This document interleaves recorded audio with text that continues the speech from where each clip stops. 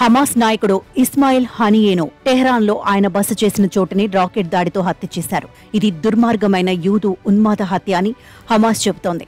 ఇంకా ఒప్పుకోలేదు కానీ ఇది ఇజ్రాయెల్ చేసిన హత్య అని తెలిసిపోతోంది. ప్రపంచంలో చెడును తగ్గించడానికి ఇదే సరైన పద్ధతి అని ఇజ్రాయెల్ మంత్రి ఒకరు ట్వీట్ చేశారు కూడా. పాలస్తీనా పోరాట చరిత్రలో ఇటువంటి హత్యలు పెద్ద ఆశ్చర్యం ఏమీ కాదు. కానీ ఇటువంటి బోర విరుపు అంతర్జాతీయ సమాజాన్ని కాతరు చేయనితనం మాత్రం పశ్చిమాసియా సంఘర్షణలోనే కాదు. ప్రపంచమంతటా కూడా పెరిగిపోతున్న ధోరణి.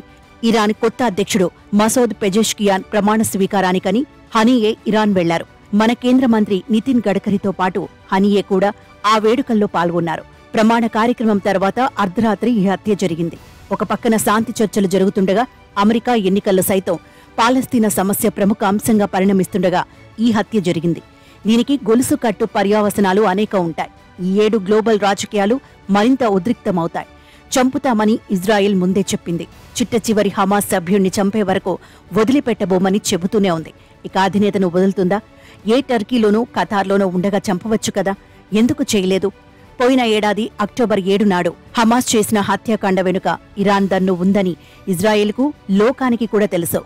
ఇరాన్ గడ్డ మీదని హమాస్ నేతను చంపి చూపించాలని ఇజ్రాయెల్ అనుకుంది.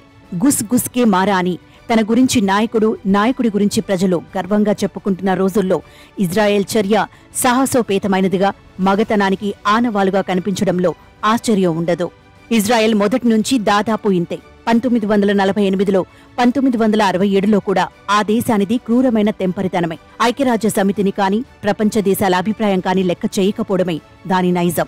అప్పుడప్పుడు మాట వరుసకు పాలస్తీనాకు న్యాయం గురించి రెండు దేశాల పరిష్కారం గురించి మాట్లాడుతూ చేతల్లో మాత్రం ఇజ్రాయెల్ను పెంచి పోషించింది అమెరికాయే. సోవియట్ రష్యా విచ్ఛిన్నమైన తర్వాత ఇజ్రాయెల్ ప్రాధాన్యం దుందుడుకుతనం మరింత పెరిగాయి. ఓస్లో ఒప్పందం ద్వారా పాలస్తీనా ఉద్యమం రెండడుగులు కిందికి దిగినా ఇజ్రాయెల్ దాన్ని గౌరవించలేదు. మొత్తంగా దేశమంతటిని యూదుల సెంటిమెంట్లతో నింపేసి పాలస్తీన జీవితాలను అతి చిన్న భూభాగంలో శరణార్థి శిబిరాలకు లేదా కిక్కిరిసిన జనావాసాలకు పరిమితం చేయడం దాని లక్ష్యంగా ఉంది. ఇజ్రాయెల్ దక్షిణ సరిహద్దులో ఉన్న ఎడారి ప్రాంతంలోకి గాజా వాసులను పూర్తిగా తరిమేసి వారిని అక్కడే ఉంచటం పరిష్కారమన్న జియోనిస్టుల ప్రతిపాదనకు ట్రంప్ ప్రభుత్వం వంతపాడింది కూడా. మరోపక్క ఆరంభం నుంచి పాలస్తీనా పక్షాన ఉన్న దేశాలు ఒక్కొక్కటిగా జారిపోవడం మొదలుపెట్టాయి. చిట్ట చివరిగా సౌదీ అరేబియా కూడా ఇజ్రాయెల్తో సంబంధాలు పెట్టుకోబోతున్నప్పుడు దానిని నివారించడానికి హమాస్ గత అక్టోబర్లో హంతక దాడులు చేసింది. హమాస్ పదకొండు వందల మంది ఇజ్రాయేలీలను చంపగా అందుకు ప్రతిగా ఇజ్రాయెల్ నలభై వేల మంది పాలస్తీనియన్లను చంపింది. ఈ లెక్క ఇంకా పెరుగుతోంది. హనీయే హత్య తర్వాత ఏం జరుగుతుంది? ఈ ఘాతుకానికి జవాబు తప్పక ఇస్తామని హమాస్ సహజంగానే అంటుంది అంది. ఇరాన్ కూడా బాధ్యులను కనుగొని చర్యలు తీసుకుంటామని అంది. హమాస్ ఎంతగా ప్రతికూల ప్రచారానికి లోనైందంటే ఈ చర్యను నేరుగా ఖండించేందుకు ప్రపంచ నేతల్లో చాలా మందికి నోరు రావడం లేదు. ఒక పక్క చర్చలు జరుగుతుండగా ఇదేమిటని శాంతి ప్రక్రియలో పాలు పంచుకుంటున్న ఖతార్ బాధపడింది. చైనా మాత్రం హత్యను తీవ్రంగా ఖండిస్తూ తక్షణం కాల్పుల విరమణ జరగాలని కోరింది. తనకు ఎటువంటి సంబంధం లేదని అమెరికా చేతులు దులుపుకుంది.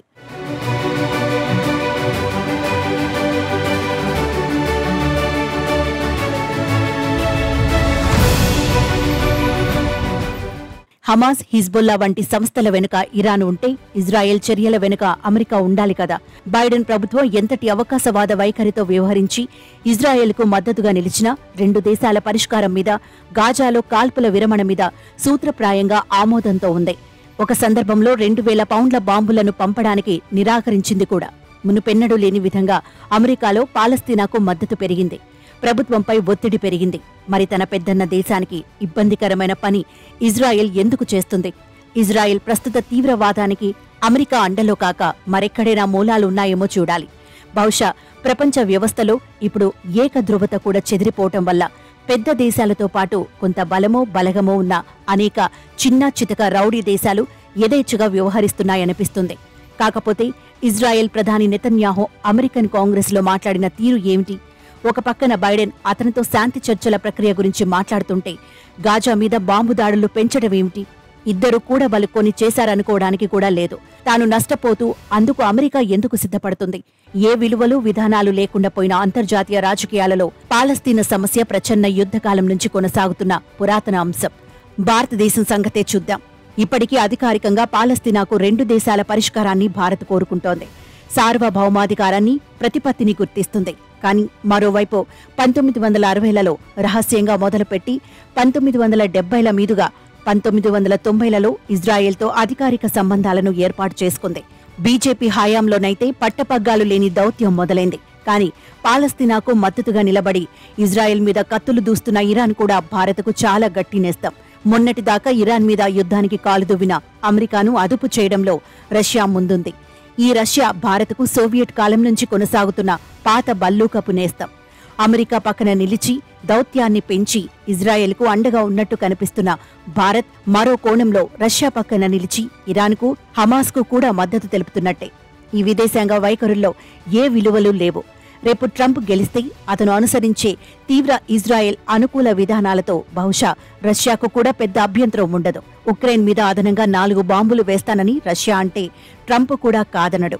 ఈ ఇద్దరిలో సఖ్యంగా ఉంటూ పాలస్తీనా విముక్తిని కోరుకుంటూ ఇజ్రాయెల్ దాడులకు కళ్ళు మూసుకుంటూ ఇండియా లౌక్యంగా మెసలగలదు. బాహటంగా రష్యాతోనూ చాటుగా చైనాతోనూ గట్టి స్నేహాలున్న ఇండియాను తొందరపడి దూరం చేసుకోవాలని అమెరికా అనుకోదు. కానీ ఉక్రెయిన్ మీద రష్యా దాడి విషయంలో భారత్ వైఖరి అమెరికాకు సంతృప్తికరంగా లేదు. ఆ సంతృప్తిని అతిగా ప్రకటించకుండా తలుచుకుంటే మోదీ యుద్ధాన్ని ఆపగలరు అన్న ప్రశంసాత్మక అభిప్రాయాన్ని ప్రచారంలో పెట్టారు. ఎక్కడా మోదీ దానికి ప్రభావితమవుతారో అనుకున్న పుతిన్ మోదీ మాస్కోలో ఉన్నప్పుడే ఉక్రెయిన్లో పిల్లల ఆసుపత్రి మీద బాంబు వేశాడు. దాంతో జెలెన్స్కీ మోదీకి నైతికమైన సవాల్ విసిరాడు. మోదీ చాలా ఇబ్బంది పడ్డారు. ఎంతో కొంత అప్రతిష్ట వచ్చిందని గ్రహించో లేదా అమెరికాను ఊరడించడానికో మోదీ ఇప్పుడు ఉక్రెయిన్కు ఒక ప్రత్యేక యాత్ర చేయబోతున్నారు. మరి అప్పుడు పుతిన్ మరో దాడి చేస్తే అలా చేయబోమని అనధికార హామీ ఏదో లభించి ఉండవచ్చు. లేకపోతే కష్టమే. ఇక్కడ మళ్ళీ అనేక అనుబంధ ప్రశ్నలు ఉత్పన్నమవుతాయి.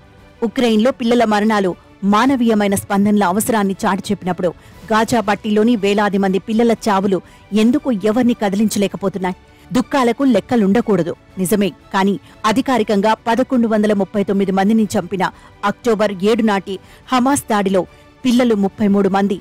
మరి ఆ తర్వాత ఇజ్రాయెల్ చేసిన ఆకాశ బుత్తల దాడుల్లో గాజాలో మరణించిన పిల్లల సంఖ్య పదమూడు వేల ఎనిమిది వందల మంది. ఏ పక్షానికి చెందిన ఏ ఒక్క చిన్నారి ఈ సంఘర్షణల్లో చనిపోకూడదని అందరం కోరుకుంటాం. కాని పదులకు స్పందించిన గుండెలో వేల మరణాలకు ఎందుకు మౌనంగా ఉంటున్నాయి?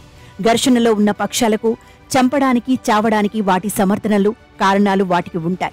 కాని జీవిత పోరాటంలోని మునిగిపోయిన నిరాయుధులో దాడులకు ఎందుకు లక్ష్యం కావాలి? ఏ పక్షం వైపు న్యాయం ఉన్నదో చెప్పలేకపోవచ్చు.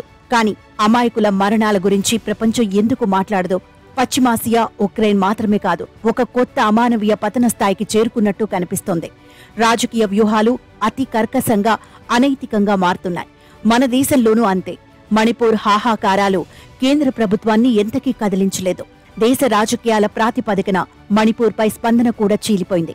బాధితులని అన్యాయంగా నిందించే మనుషులు పెరిగిపోయారు. కానీ లెమ్మని జరగనిమ్మని జరగవలసిందేనని అనుకుంటున్నారు. అట్లాగే ఛత్తీస్గఢ్ అక్కడి మరణాల గురించి మాట్లాడటానికి నక్సలైట్ల మీదనో ప్రభుత్వ విధానాల మీదనో ఏదో ఒక వైఖరి అవసరమా?